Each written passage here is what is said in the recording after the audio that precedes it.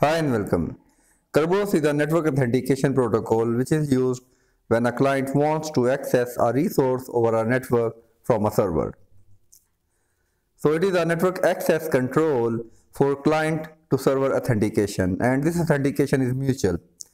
So Kerberos uh, term originated from uh, the Greek mythology Cerberus and it was a three-headed dog and uh, these three heads of the dogs are represented by the AAA services offered by the Kerberos protocol that is the authentication, authorization and accounting. And but this is basically a protocol for authentication. And some uh, references say that the three heads are represented by client, server and key distribution center or KDC. So Kerberos uh, was formulated in mid 80s as part of MIT project Athena.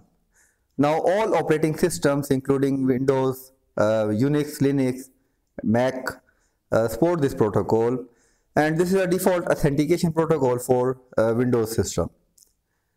So it is basically a single sign-on uh, protocol that user has to log in only once and then he is authorized access to the resources over the network.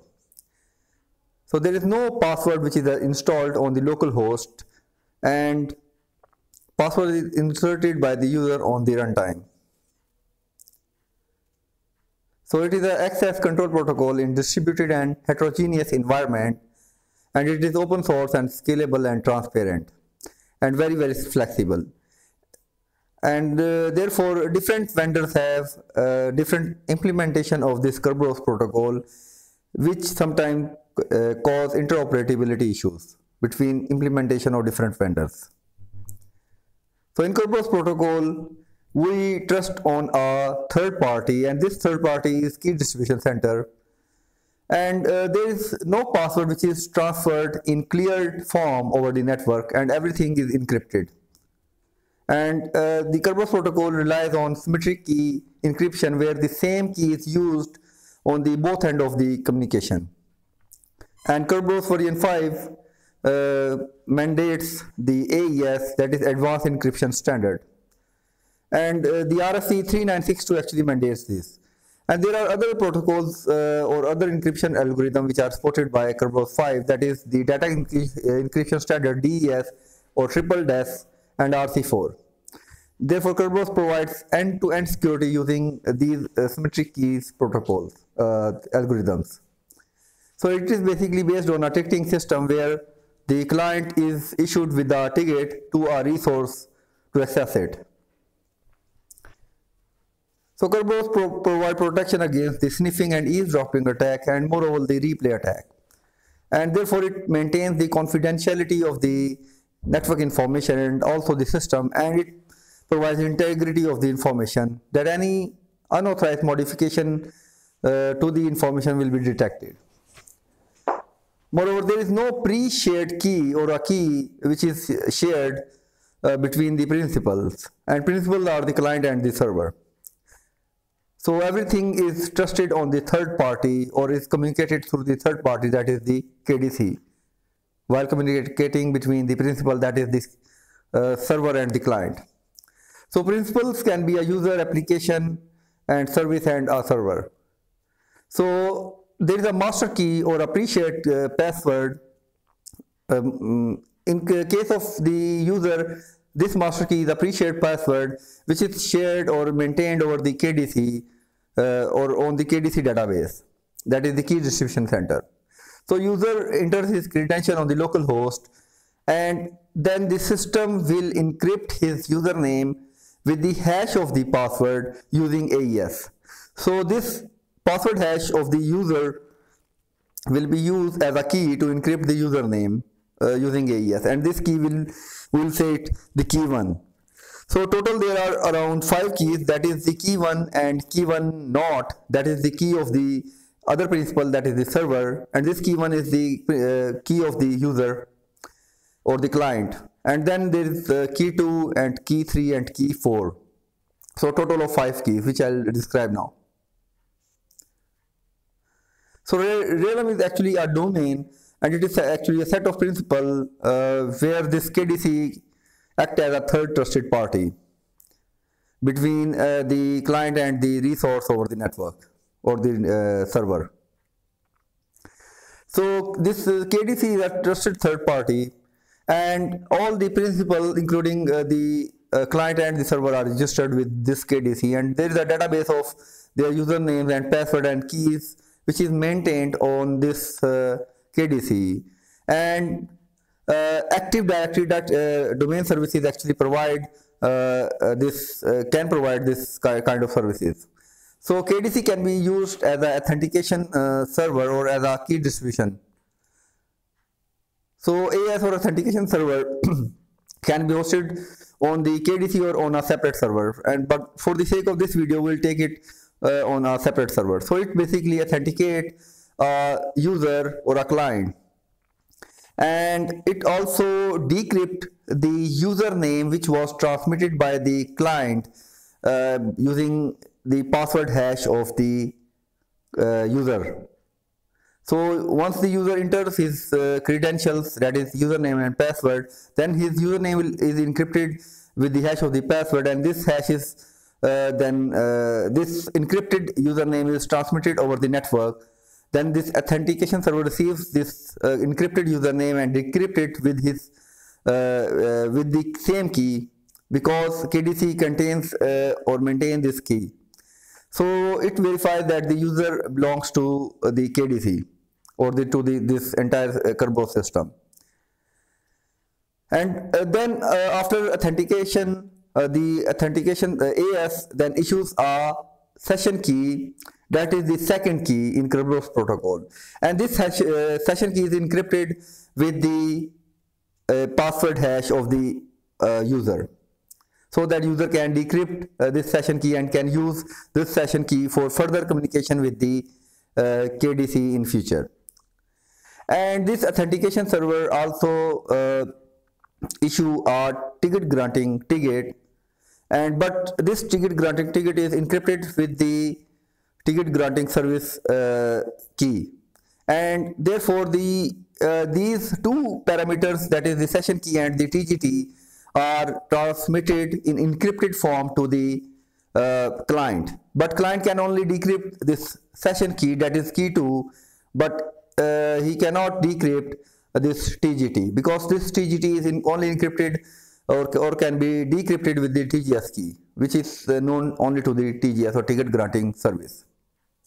So later on, uh, the client replay this uh, TGS and uh, this, uh, uh, sorry, the client replay this TGT and this TGT is validated by the TGS since it is decrypted using the TGS key, that is the key 3. So this entire uh, encryption and decryption is based on symmetric key. That is the same key is both uh, used on the both end of the communication.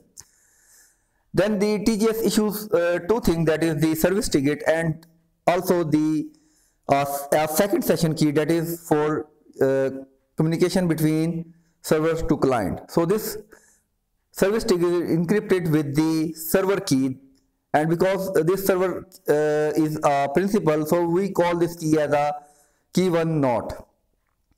And it also issue this uh, se uh, second session key that is uh, the key for communication between the client to server directly. Now in this case no KDC is involved in between. So this is a second session key. And this ses second session key is encrypted uh, with the earlier session key that was issued uh, for communication between the KDC so that client can decrypt this second session key for communication with the server. So client cannot decrypt this service ticket because it is encrypted and with the server key which is only known to the server. So these all keys are maintained on the KDC and on the principal as well.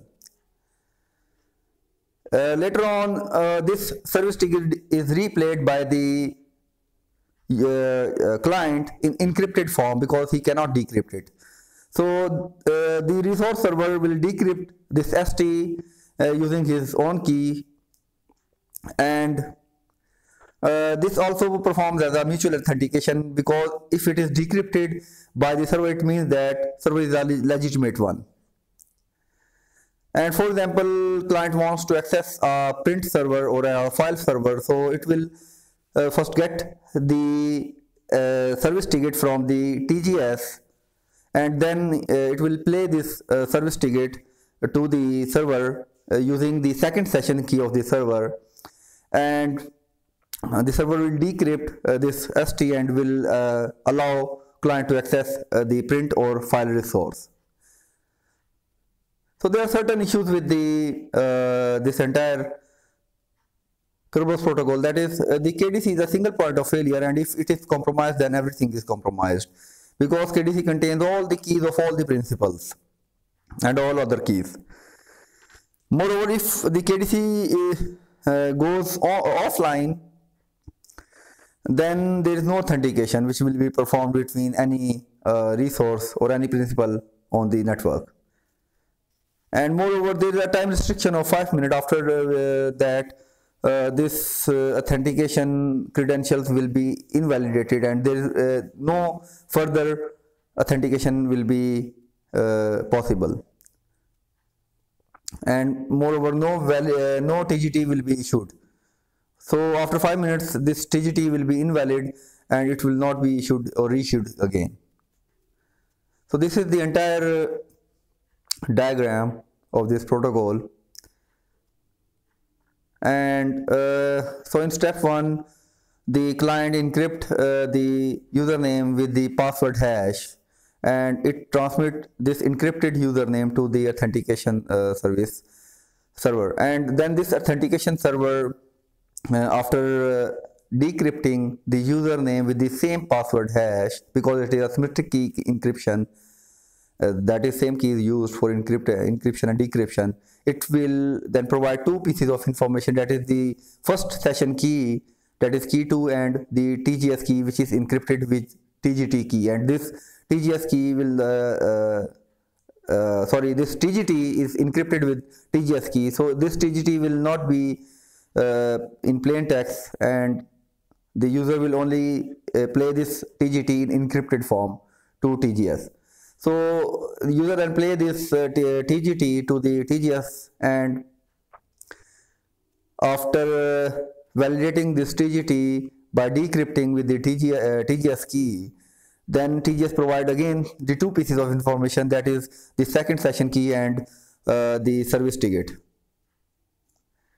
And uh, this service ticket is again encrypted with the file server key that is the key one dash, uh, key one not so uh, the user will not be able to see it or will play it in encrypted form so user can only decrypt the second session key and first session key and uh, then again uh, in final step the user will request resource from the fi file server and it will play the uh, service ticket in encrypted form.